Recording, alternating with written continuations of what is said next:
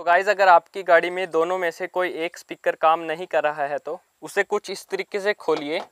और उसे कुछ इस तरह से हिला के देखिए, कहीं वो हिल तो नहीं रहा, नहीं तो उसका ये वाला स्क्रू टाइट कर दीजिए, फिर प्रॉब्लम सोल्व हो जाएगी।